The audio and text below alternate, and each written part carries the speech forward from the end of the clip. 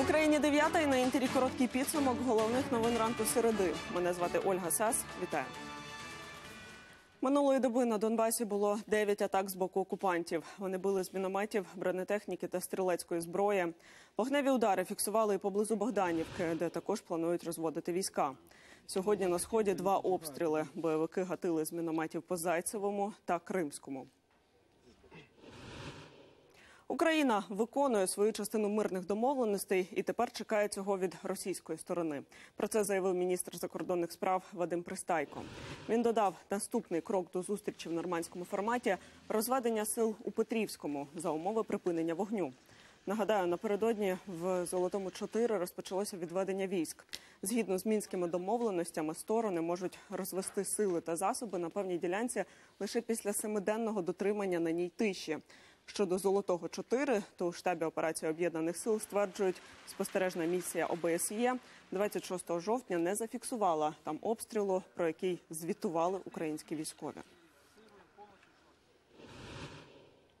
Могилу свого сина нарешті змогла відвідати мати загиблого морського піхотинця, підполковника Юрія Загребельного. 2014-го разом із побратимом він поклав життя під час ворожого обстрілу з градів поблизу Талаківки під Марі- Маріуполем. Із міркувань безпеки родичів не пускали до місця загибелі військовика. Тепер на місці розбомбленого бліндажа встановили хрест і відправили панахиду. Юрій Загребальний служив у Криму. Після виходу з материка поїхав боронити рубежі на сході. Чотири кораблі країн-членів НАТО прибули напередодні до Одеського порту. Це протимінна група, у складі якої тральники з Іспанії, Італії, Румунії та Болгарії. Зазвичай вони патрулюють у Середземному морі, а до Чорноморського узбережжя підійшли, оскільки сьогодні розпочнеться візит до України керівництва Північно-Атлантичного альянсу. Делегацію очолить генеральний секретар НАТО Єнс Столтенберг. Планують, що він відвідає ці кораблі в Одесі. Крім того, зустрінеться з представниками військово-морських сил України та студентами флотської академії. А завтра Столтенберг та інші високопосадовці альянсу вирушать до Києва. В Одесі журналістам напередодні продемонстрували нову водолазну школу, яка днями була створена на базі українських військово-морських сил. Раніше така система підготовки діяла лише в Криму. Після його анексії була втрачена, і ось тепер її відновлюють. Як саме розкажуть мої колеги. Це перший набір слухачів новоствореної водолазної школи військово-морських сил України. Серед них військовослужбовці та представники правоохоронних органів. Спочатку чотири тижні теоретичних занять, занурювання у звичайному басейні, а потім практика на відкритій воді. Станцію підготовки організували у практичної гавані в Одесі. За основу ми взяли е, програму водолазної підготовки ВМС Великобританії. Тому повністю те, що сьогодні ви бачили на водолазній станції, воно відповідає міжнародним стандартам та стандартам е, країн НАТО. Курсанти відпрацьовують дії, які в подальшому зможуть використовувати у пошуково-рятувальних операціях при знищенні вибухонебезпечних предметів, обстеженні причалів чи ремонті пошкоджень корабля. Але головна вправа наразі маневри під водою. При цьому деякі комплекти водолазного спорядження мають спеціальне взуття вагою 8 кілограмів. Водолаз, який е, на важких ботах виконує завдання з монтування трубопроводу. Під водою у них е, знаходяться тренажери. Водолази ж, які на ластах відпрацьовують переміщення під водою е, за допомогою сигналів. Сигналами обмінюються за допомогою спеціального канату. На березі його тримає страхувальний водолаз, поки його напарник під водою отримає завдання рухатися вперед, вбік чи назад. Він мені дав знак того, що він на ґрунті, самопочуття в нього добре. Зараз чекаю, поки він знайде об'єкт і, і дасть мені е, сигнал, щоб я йому подав інструмент. Курсанти кажуть, головне тут не лише фізична підготовка. Важливо перебороти страх та впоратися із панікою та стресом під водою. Роботу виконав. Самочувствие добре. Понимаете, есть под водой может случиться все. Нас учат, потихоньку подводят к тому, какие могут быть ситуации под водой, как с ними бороться. Загалом навчання триває два місяці. Протягом цього терміну курсанти мають відпрацювати 650 хвилин під водою. Наступного року новостворена водолазна школа отримає окремий навчально-тренувальний комплекс, який матиме повний спектр сучасного обладнання, тренажерів і басейнів. Його побудують тут, на військовому причалі. Артем Антоненко, Андрій Анастасов, Ігор Маханошин. Новини телеканал Інтер. Одеса. На хабарі у 50 тисяч доларів погорів головний спеціаліст Національного банку України. Гроші він зажадав від директора приватного підприємства. Натомість обіцяв посприяти видержанні безстрокової генеральної ліцензії на обмін валюти. Службовця банку затримали на гарячому. Йому саме передавали 40 тисяч доларів поблизу будівлі НБУ. Тепер здирникові світить до 12 років ув'язнення з конфіскацією майна. Міжнародний канал контрабанди психотропів ліквідували прикордонники. Його організатора викрили в Одесі. Він саме отримав поштою 100 таблеток екстезі з Нідерландів. Правоохоронці встановили, що затриманий закуповував наркотичні та психотропні речовини у країнах ЄС, а збував їх у Молдові. Ділку оголосили про підозру. Наразі розшукують спільників. Підкрадається непомітно, не шкодує нікого. Щороку в Україні з діагнозом інсульт до лікарень потрапляють понад 140 тисяч людей.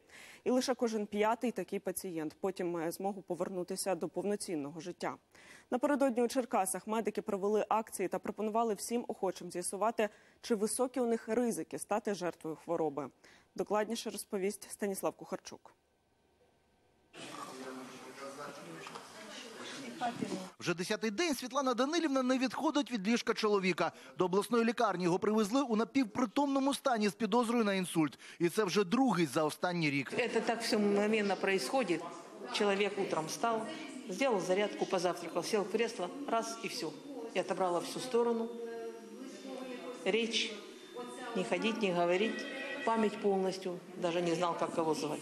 Таких пацієнтів до обласної лікарні щомісяця потрапляє десятки. Здебільшого люди звертаються по допомогу із запізненням, бо не всі звертають увагу на симптоми підступної хвороби.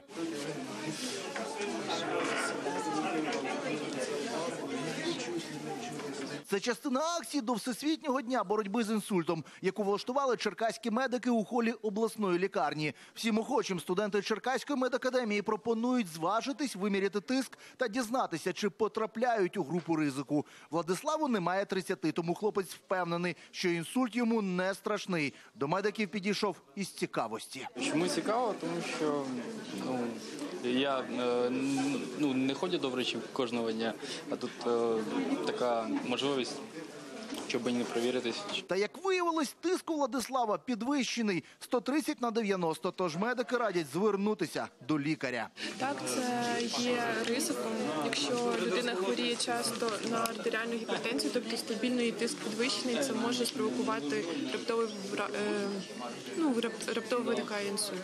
Інсульт називають чумою 21-го століття. Кількість захворювань з кожним роком зростає, наголошують лікарі. Тільки по Черкаській області від початку 2019 року зафіксували 4 тисячі випадків інсульту. З них тисяча смертельні. Інсульт не болить. Він іноді трапляється в нічний час, і людина прокидається вже з симптомами порушення мозкового кровообігу.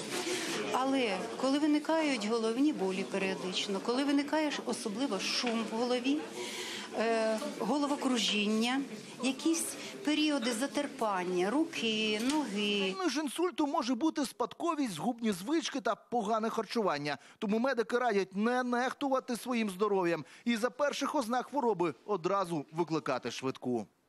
Станіслав Кухарчук, Олександр Клименко. Новини телеканал Інтер. Черкаси. У Тисняві з відтоптаними ногами та подертим одягом. Так діти одного із сіл на Миколаївщині щодня добираються на навчання. Чому учнів не можуть забезпечити автобусами, знають наші кореспонденти. О пів на сьому ранку на зупинці у селі Капустине збираються люди. Всім треба до обласного центру. Комусь на базарі з товаром, комусь на роботу, ну а дітям до школи. Цього разу, кажуть пасажири, пощастило. Автобус подали великий. Зазвичай до салону заходить до півсотні людей. На дітей особливої уваги ніхто не звертає. Они стоят, то есть им ни- никто не уступает место. Неудобно ехать, толкаемся, иногда и плохо становится. У Капустиному є лише початкова школа, тож здобувати повну середню освіту доводиться де-інде. Двоє синів Тетяни Гончар навчаються у Миколаєві. Діти щодня їздять рейсовим автобусом. Хоч це і витрушує кишені, іншого варіанта жінка не бачить. Меньше, чем полтинник, в основном детям не дают, потому что ребенок едет почти на целый день. Загалом у Капустиному 33 школяра. Про спеціалізований автобус для дітей селяни мріють давно. Зверталися вже і до місцевої влади, і до президента. Районна влада е, сказала, що це наша е, забаганка, щоб наші діти навчалися в місті Миколаїв. Нам до Миколаївських шкіл е, найдальше знаходиться 10 кілометрів, а те, що вони нам по- пропонують в межах Вітовського району, це 8 кілометрів.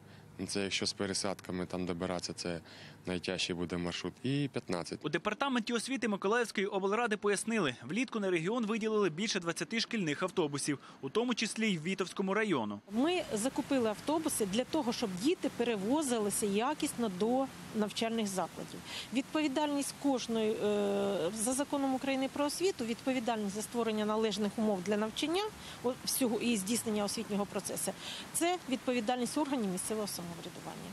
Та пустити омріяний автобус у районі наразі не готові. За законом він може обслуговувати лише школи району. Батьки ж переводити своїх дітей з навчальних закладів Миколаєва відмовилися. Організаційні моменти всі підготовлені із призначенням водія, із виділенням коштів, але нема поки що законної підстави для того, щоб фінансувати цей автобус. І поки в райдержадміністрації збираються внести зміни до обласної програми Шкільний автобус, а в департаменті освіти обіцяють знайти компромісне рішення. Діти вимушені їздити рейсовим автобусом. Артем Антоненко, Марина Михайловська, Олексій Уманський, телеканал Інтер, Миколаївська область.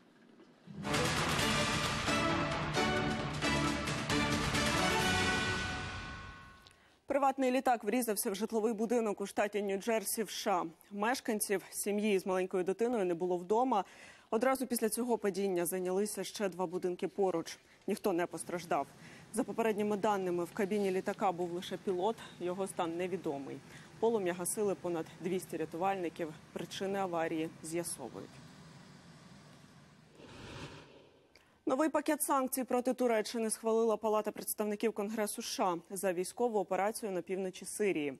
Обмеження передбачають заборону для Туреччини продавати зброю Сирії, а також персональні санкції щодо турецьких високопосадовців, які підтримують військові дії в цій країні. Якщо новий пакет схвалить Сенат, президент Трамп не зможе їх скасувати. Нагадаю, за тиждень після початку турецької військової операції проти курдів Трамп оголосив про запровадження економічних санкцій щодо Туреччини. Утім, за тиждень він їх скасував, пояснивши нормалізацією ситуації в регіоні. Проте в Конгресі з цим не згодні. У Конгресі США оприлюднили текст резолюції щодо імпічменту Трампа. Голосування відбудеться завтра. Документ дасть змо- змогу формалізувати процедуру імпічменту та перейти до наступного етапу розслідувань звинувачень у цій справі. Резолюція також виписує процедуру слухання свідків у комітеті розвідки. А ще, за словами спікерки палати Ненсі Пелосі, має допомогти вплинути на адміністрацію Трампа. Раніше Білий Дім відмовлявся надавати документи палаті представників, а також забороняв свідчити у справі імпічменту. Тонну кокаїну вилучила поліція Коста-Рики. Нелегальний вантаж був захований у майже 30 сумках у контейнері з фруктами, що прямував до Бельгії. Через особливості розташування центральноамериканська країна Коста-Рика виявилася транзитною точкою для наркокартелів. Звідти зілля доправляють до Сполучених Штатів та Європи. Лише цього року костариканські поліцейські затримали рекордні 37 тонн заборонених речовин. Цього року ми обшукали понад 8 тисяч контейнерів на кораблях, які щодня прибувають до нашої країни. Усі наші правоохоронні структури працюють над тим, щоб наркотики не пройшли через митний контроль. Риболовні сіті загальною довжиною в один кілометр виявили екологи в водах Балтійського моря. З так званими примарними тенетами почали боротьбу у Фінляндії. Мета тамтешньої урядової кампанії порятунок морських мешканців, котрі сотнями гинуть, потрапивши в рибальські пастки. Екологи створили план проблемних ділянок, абсолютна більшість з яких основні маршрути риболовних промислів. Тепер прочісують зі спеціальними гачками дно моря. Після очищення запланованих ділянок розпочнуть операцію в нейтральних водах Балтійського моря. Дипломовані маги тепер з'являться у Франції. Уряд країни офіційно визнав нову спеціальність і надав статус коледжу Академії магії в Парижі. Хто вступає до нестандартного вишу та які там дисципліни? Тарас Пилипець розкаже. Найголовніша запорука успішного фокусу нікому не розкривати секрет дійства. Проте у міністерстві праці Франції так не вважають. Відомство офіційно визвало академію магії у Парижі коледжем. Тепер кожен охочий після закінчення середньої освіти може стати дипломованим магом. Єдине, що відрізняє академію від інших вишів відсутність державного фінансування. У нас є диплом, який визнає держава як еквівалент дворічного навчання після середньої школи. Відтепер наш заклад має рівні права з іншими мистецькими коледжами. Ми дуже щасливі, що уряд країни підтримує розвиток культури. Обсяг занять 35 годин на тиждень. Серед навчальних дисциплін теорія карткових фокусів, історія магії та основні засади ілюзійної майстерності. Студенти отримують гарні оцінки, якщо зможуть ошукати викладача. Той, хто не надто охочий до виступів перед публікою, вчиться продюсувати шоу-програми. 18-річний Томас, студент першого курсу академії магії, каже, що малим захоплювався фокусами, а в 14 років зрозумів, хоче сам їх робити. А коли виросте, працювати ілюзіоністом. На сайт навчального закладу натрапив в інтернеті та відразу подав документи на вступ. Магія моя пристрасть. Хтось бажає заробляти на життя музикою. Я хочу своїми ілюзіоністськими навичками. Заняття у нас дійсно захоплюючі. Я навіть не встигаю помітити, як минає день. Навчання в академії не дешеве. Тримісячний курс майже 15 тисяч євро. Батька хлопця тер'єрі Біорет переконаний, зараз людям не вистачає розваг, тож попит на фокусників та ще й дипломованих більший аніж на юристів чи медиків. Чоловік готовий платити будь-які гроші, аби син зміг реалізувати свої амбіції. Спочатку ми шукали для Томаса приватні заняття магією. Коли ж дізналися, що уряд офіційно надав статус коледжу цій академії, зробили свій вибір. Ми щасливі, що наш син займається улюбленою справою. Окрім денного навчання, Томас отримує багато домашніх завдань, з якими нерідко справляється далеко за північ. Проте хлопець не засмучується. Каже, щоразу, коли тасує колоду карт, уявляє, що настане день, коли він перевершить найвідомішого ілюзіоніста світу Девіда Копперфільда. Тарас Пилипець, новини телеканал Інтер. У київському зоопарку звірятка ласують гарбузом із сюрпризом традиційним атрибутом Геловіну. Першими святкову вечерю отримали єноти. Тварини швидко розгризли гарбузову посудину та добралися до ласощів, захованих усередині. Згодом смаколики дісталися іншим мешканцям зоопарку. Нестандартний раціон, зумовлений не тільки святом, доглядачі дають своїм підопічним продукти з високим вмістом вітамінів. Вони допоможуть їм легше пережити зиму.